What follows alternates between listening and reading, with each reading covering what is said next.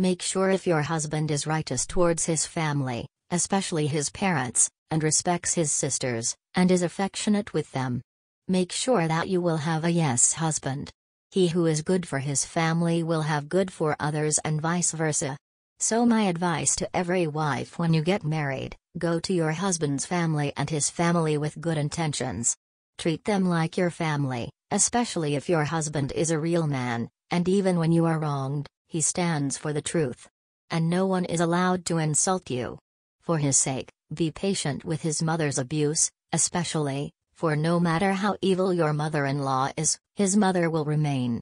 So you overlook and ignore, especially if your residence is independent and you do not visit them often. Treat her like your mother. If you go out with your husband to buy your needs, don't forget to remind him to buy something for his mother. You will grow in his eyes and his love for you will increase.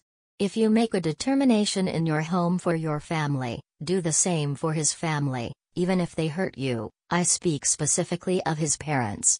If you buy a gift for your mother, buy a gift for his mother, in the end, it is her son's money. Unfortunately, there are wives who love everything for their family. I once read a true story that one of the husbands called his wife to bring lunch because his family would visit him.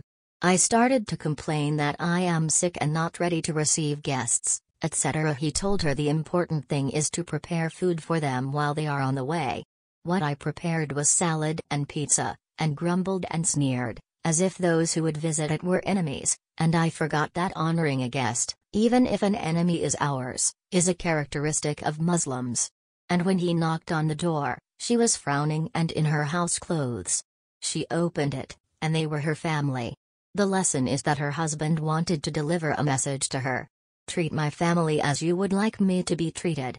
I am your family. My sister, make sure that any man, even if he does not express what is inside him, if he sees you interested in his mother especially, he will love you more. And he says, Praise be to God, who has blessed me with a good wife. She reminds me of the necessity of visiting my family, inspecting their conditions, and acquiring things for my parents. And remember as you condemn. If you were evil and incited your husband against his family, rather you would create problems if you saw him as righteous with them. One day your son's wife will do the same to you. So be patient with their harm, and if they go too far, you are not obligated to visit them and reach them. But do not be like the devil whispering to your husband and inciting him against his family.